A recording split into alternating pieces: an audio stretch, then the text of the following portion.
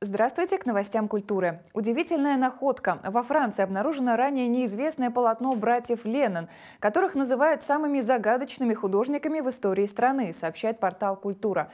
Известно, что в середине 17 века три брата работали в одной мастерской, часто писали для храмов, а после смерти были забыты почти на 200 с лишним лет.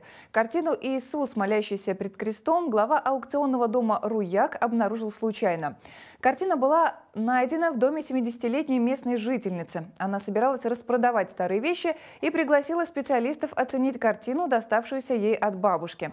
Экспертиза подтвердила, полотно написано братьями Леннон.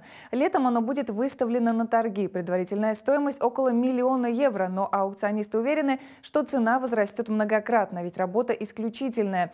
По словам искусствоведа Стефана Пинта, каждая найденная картина братьев Леннон всегда событие в мире искусства. Среди работ, вышедших из мастерской, мы прежде не встречали ничего подобного.